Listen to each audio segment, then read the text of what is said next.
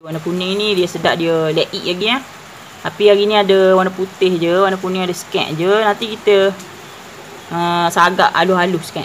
Eh sagak kasar-kasar sikit ya. Nanti kita sagak kasar-kasar gitu sikit. Okey, ni dia ubi kayu. Hak amba ada setengah amba paruk, ada setengah tu amba cicang je. Sebab maruk amba guna tu dia macam halus sikit. Dia halus gini. Aduk gini ya. Wah ni wak ambil cicang tadi tu. Kasar sikit. Nissan lebih kurang secawan dalam 200 gram gitu. Ni Nissan ni.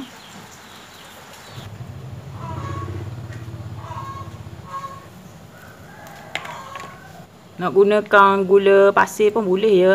Tapi hamba nak pakai Nissan. Jadi kat gigi hamba tak payah bubur dah Nissan. Nak makan. Siapkan kukusan ni kita lapik dengan daun pisang dengan kita bubur daun pandang sikit ya.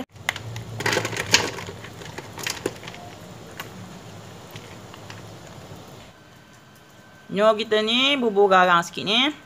Gigi kita akan kukuh. Kukuh kejap ya. Nyo dia ni kita kukuh sekali lah ya. Tapi nyo dia ni kita kukuh 10 minit je. Hak bawah ni kita kukuh sampai masak.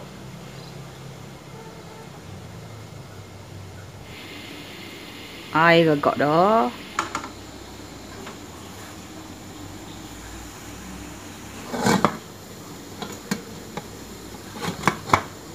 A few moments later.